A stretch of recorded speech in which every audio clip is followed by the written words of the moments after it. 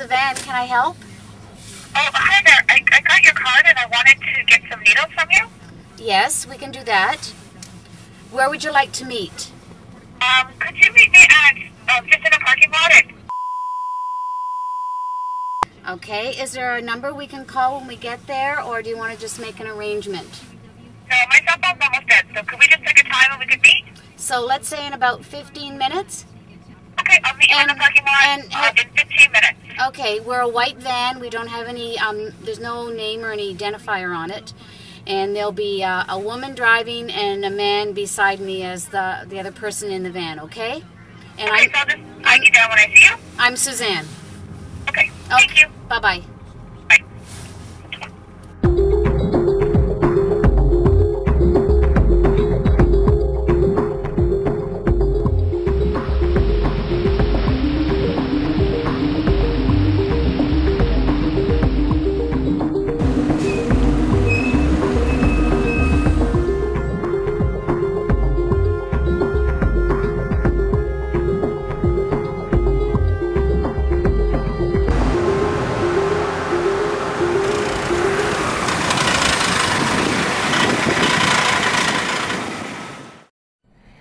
I'm Linda Blake Evans, and I'm the program manager with Public Health Services of the VAN Needle Exchange and Street Health Program.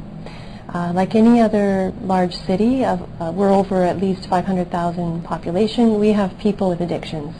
Addictions are a hidden problem in our city and affects many families. Our video hopes to educate the public about harm reduction, our program, and, and needle exchange, and that it can be an effective method in reducing the risk of infections in our community, helping people get the help that they require, and uh, while keeping our community safe from disposed needles and, uh, and reducing healthcare costs from people who may acquire infections from, from sharing needles. In this video, you will see actual clients of ours who've agreed to be part of our video, who will share their experiences and opinions of, of the needle exchange program, uh, including one client who now is a volunteer with our program and in the community to give back uh, to the community after going through his own drug rehab. The Van Needle Exchange program started in 1992 in Hamilton after recommendation from a local task force interested in reducing the risk of HIV in our community. Uh, the van is uh, funded through public health services and staffed by public health nurses, as well as a combination of outreach workers and volunteers. Our outreach workers are from a variety of agencies in the city, such as the AIDS Network, uh, Aboriginal Healthcare Centre, and Elizabeth Fry Society. Our volunteers are trained and recruited by our local AIDS organization, and that's a very effective partnership. So one of the reasons we decided to make this video is because there are some negative perceptions about people who use needles, harm reduction, and our role in helping people who inject drugs. Harm reduction focuses on the most immediate and achievable changes that can reduce the threat to the health and well-being of individuals. We have respect for human dignity, we're totally non-judgmental, and our services are confidential. It's great. It's confidential. It's quiet. It's discreet. There's no stickers or anything on the van, and it's. I think it's the safest thing going. Instead of people using dirty needles and getting infected and diseased, and it's the best thing. The goals of the Van Needle Exchange program are threefold.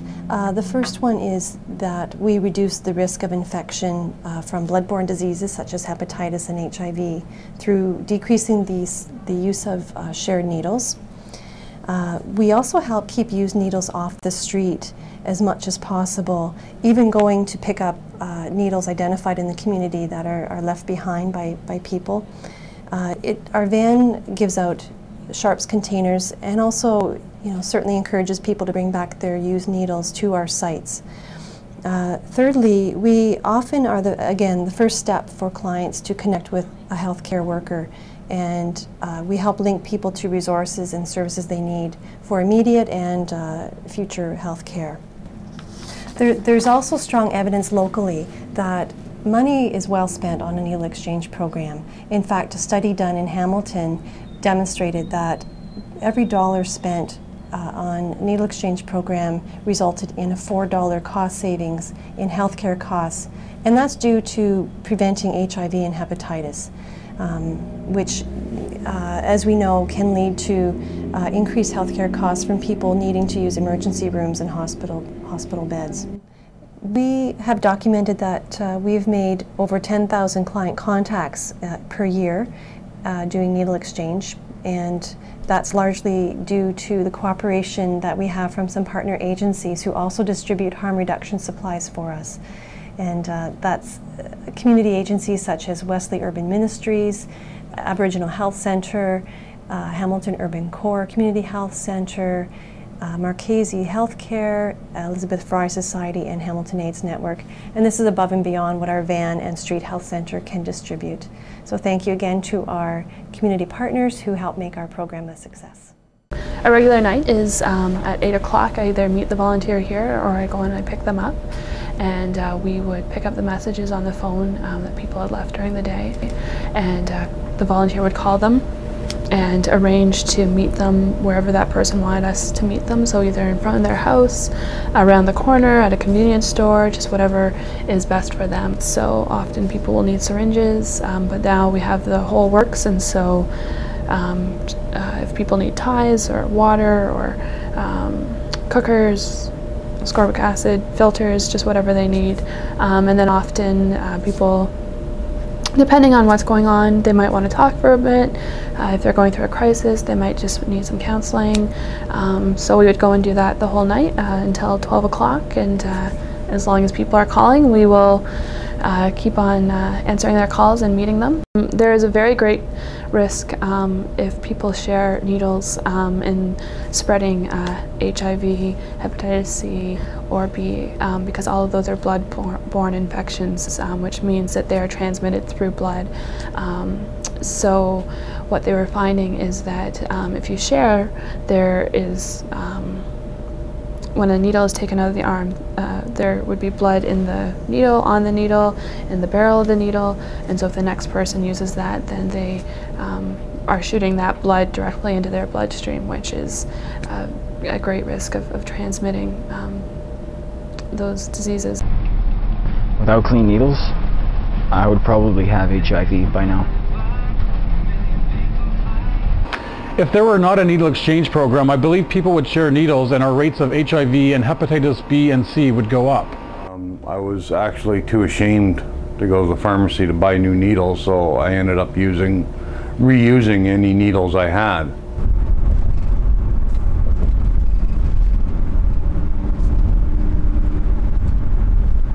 I would um, use used needles uh, from people that were around. Um, tried to convince other people to go to the drugstore for me. Um, I think I used for oh six months or a year before I actually ever went to a pharmacy myself.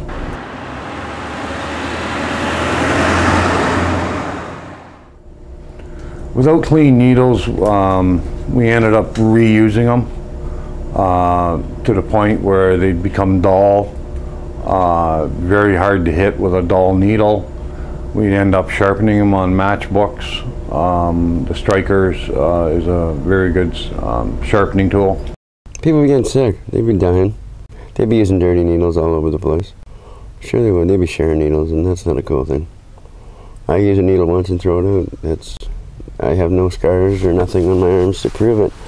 No holes, no no traces, no tracks because you guys supply enough that you don't have to use a needle twice to get sick, cotton fever, or anything like that. You use it once, throw it away. You don't have to go out on the street looking for syringes, cleaning supplies, disposal containers. They're all provided.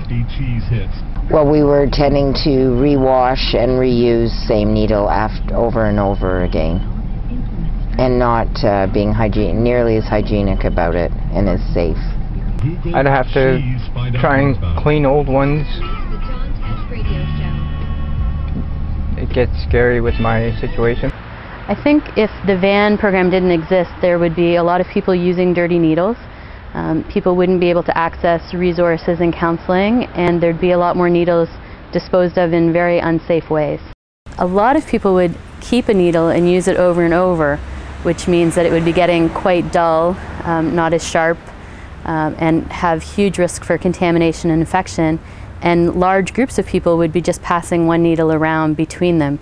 I would watch people um, share needles all the time. My brother was a big IV user. He, he was a speed freak, so he used to share needles. Uh, if they didn't have any clean water or anything, uh, they'd use dirty water on the ground and no sharps containers, so they, they wouldn't break the sharp part of the needle. They just throw their needle on the laneway or on the street in parks, wherever they had to. Yeah, they were sharing them and stuff, so I think that's really stupid. But then again, I've got the advantage of always having this here, so. We help keep used needles off the street and out of public areas by providing a way for injection drug users to dispose of their needles safely, as well as picking up needles found in the community. Another part of harm reduction is about um, reducing the harm to the community as well. And so um, what we do is we go out into the community and uh, to places where people use um, and pick up any needles that are left behind uh, there. So I go try to go to uh, different parts of the community about once a week. um, and uh, make sure that it's all picked up and clean and safe. Whenever we hear of needles being um, found in parks or near schools or in playgrounds or on trails like this, um, we'll come by and uh, search for them and find them and, and pick them up uh, with the proper uh, utensil and then we'll uh, dispose of them. Um, we don't get too many calls like that, but uh, when we do, we uh, always make sure that we come out. And I usually, I'm on the van from 8 to midnight, so if it's not too busy doing needle exchange, I'll come and look for the needles and pick them up and dispose of them in a proper sharps container. Our clients are very diverse. Um, we are all over the city, um, from East End, Stoney Creek to West End, Ancaster to up on the mountain to North End. Um, it's really no limit where we will go in the city. We develop relationships with injection drug users and help them connect to the services they need. Who cares? The people here are uh, are discreet. They, they're here to help. They were there and they were offering me things that I needed that I wasn't willing to, to reach out and ask for myself because addicts have a hard time trusting people and, and when they're used to certain people and the thing about the van is is they have different shifts with different people but you get to know all the people that go on the van. It has a real sense of trust amongst its clients and the people that it serves. Um, people feel safe talking to anyone on the van and I've heard some incredible stories from people I don't even know uh, just because they feel so safe in approaching and sharing what's going on in their lives. It's also referred people to um, the different detox and addictions facilities, to the STARS program, to Street Health for HIV testing or for other types of um, health related matters, to the Wesley, to the soup van. I mean, really any program that people who are living a marginalized existence need, the van has been able to help them access it. If we refer somebody to McMaster, we'll make sure um, give bus ticket. They also introduced me to um, the alcohol, drug, and gambling uh, drug counselor they have here at the Street Health Center. Um, and I hooked up with her and talked to her continually, probably for about four years. I do owe society, and this is my way of giving back. I think that one of the things I love about being a worker on the van is that you get to be really responsive um, to what people need and what's going on in that uh, situation. Because they see us all the time, they know what we need. The program definitely works. Um, without the van giving out new needles, um, I would definitely have HIV today.